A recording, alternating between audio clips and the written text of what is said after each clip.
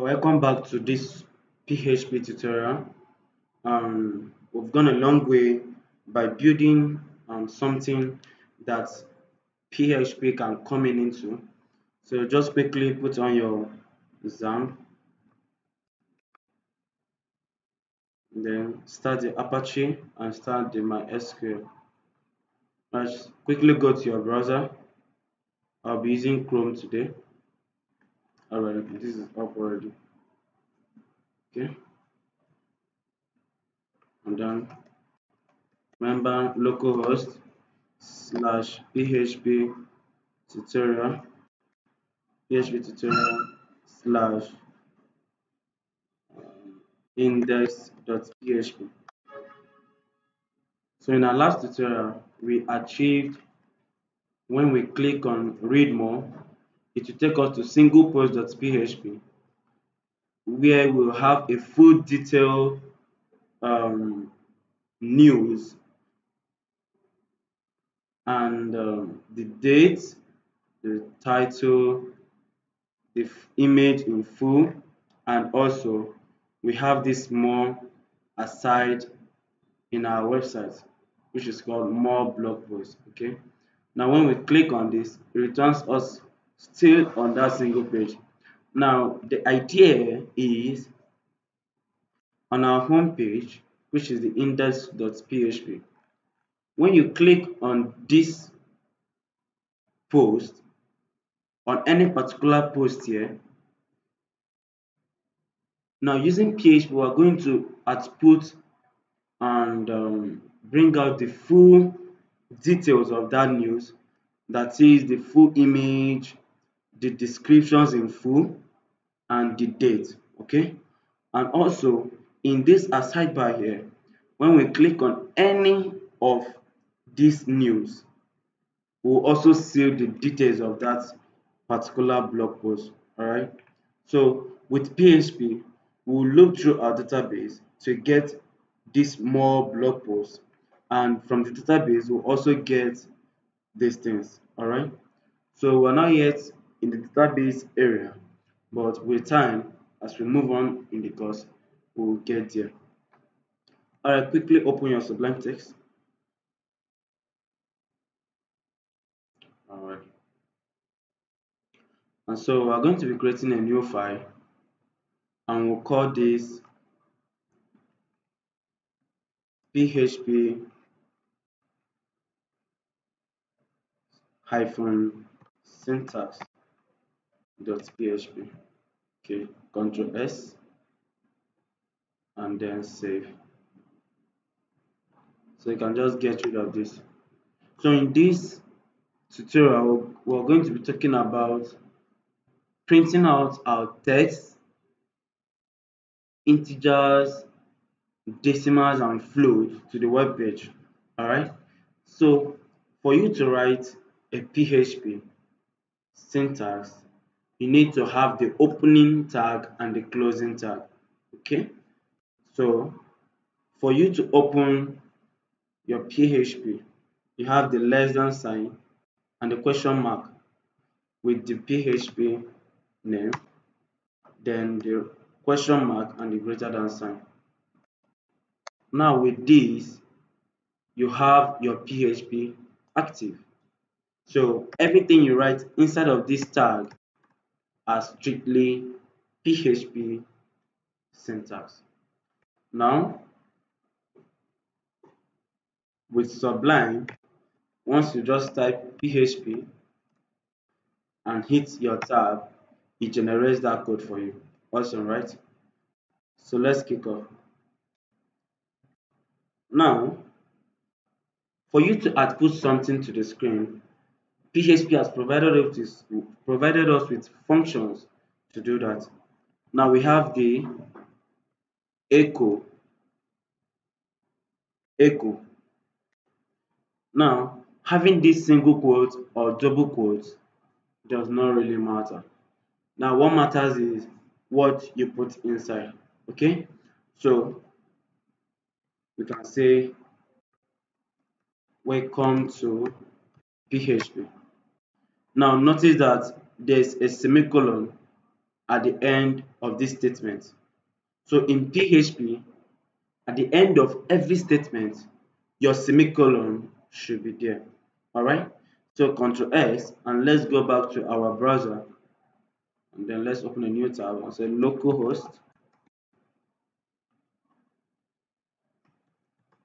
localhost slash php tutorial php tutorial slash php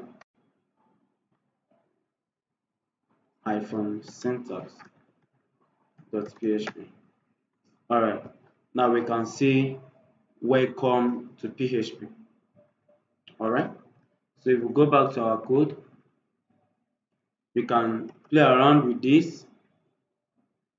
Welcome mr john then go back you see that welcome mr john all right so we have another um, function an inbuilt function given by php to print out strings, integers to the web page. All right, we have print and print. We can have you are welcome and your semicolon. Remember, always close your statement with a semicolon. Let's save. Return back to your browser and Control R to refresh. Now you can see welcome um, Mr. John and you are welcome. Alright, so now I'll also be teaching us how to create a variable in PHP. Now you might have come across um, C++ where the data type must be specified before the variable name, okay? But in PHP, is um, a free journey and an easy task. Now, before creating a variable in PHP, you have to put your dollar sign. Now, with this dollar sign, PHP knows that, all right, this guy wants to create a variable. Get ready. Okay, so once this dollar sign is set, what follows next is the name of your variable, which is a user defined name. Now, you can choose to name your variable whatever you like but right now, we're going to go with our first name. Now you can choose to initialize your variable at, at declaration or declare your variable and later initialize it um, in your code. All right. So let's have let's initialize it with the assignment operator. Now this is the assignment operator, and then we want this to be John. Remember, every statement you must close it with a semicolon. Okay? Now, how can we print out this John to the web page? All you need to do is your echo first of all, and then the name of a variable, which is first name. And then when we go back to the browser, you refresh, now you can see John, welcome Mr. John and you are welcome. All right, so let's quickly get rid of this. And I'm going to be showing you what we call concatenation. Okay, now concatenation is actually joining um, two things together. So you can join um, um, a, an integer and a string and also your variables together with a string all right so let's try concatenation right now we have a variable first name which have a value john and so how can we echo this out we use echo with our double quotes and then say you are welcome Mr. Now in PHP the period sign is used for concatenation. Alright? Now in your C sharp or anything, the plus sign is used. But in PHP, the period sign is used. And we have the name of the variable, which is first name. Now remember, when you are calling your variable, your dollar sign also should be attached to it. It's not left out. Okay? So let's save. Go back to our browser, Control R, or you refresh. Now we have you are welcome, Mr. John. Awesome. Now you can have more than 5, 20, 100 variables in your program. So let's have another variable and we'll call this last name which should be equals to Smith. And let's just have another variable age which is equals to 56. And let's have another variable address which is equals to Enugu. Okay, and let's have another variable country which is equals um, which should be equals to um, Nigeria. All right. Now we have these variables in our PHP. Now how can we print this out? The same way. And just say echo last name, Control Shift D, echo age. Now Control Shift D to duplicate, echo address, Control Shift D, and echo country. So let's save this and go back to our browser. So you refresh. Now we, we are seeing um, Smith, 56, Enugu, and Nigeria. All right. Now, how can we make this more interesting? Now, you can now bring in your HTML into the question. So let's get rid of all these. All right. So just type HTML and then hit your tab button and it will generate this. Alright? So let's have PHP syntax. And instead of this, let's have our header history. We have um, user user details, and now we have um, a paragraph with name okay and have another paragraph. And we'll have um, age and have another paragraph.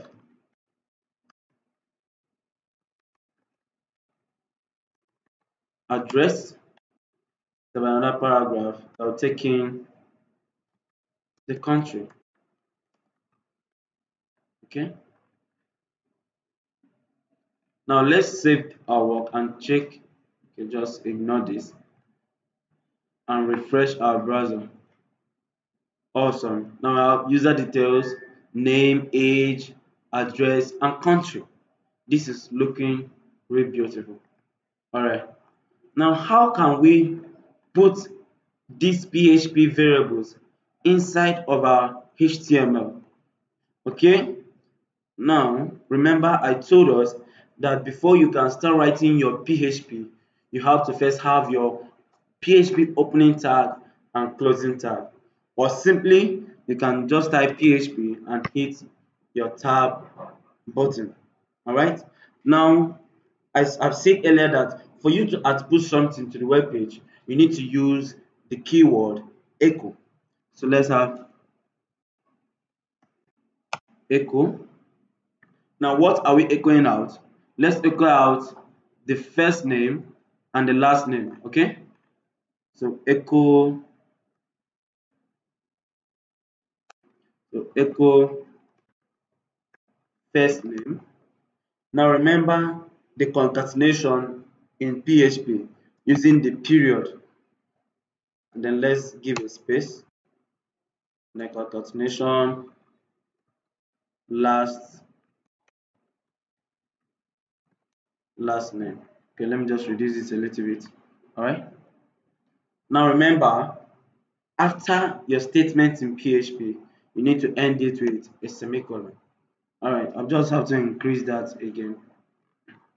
So let's save this and go back to our browser. Now refresh. Awesome. Now we can see John Smith. Okay. Now in our age, we do the same thing. PHP echo age.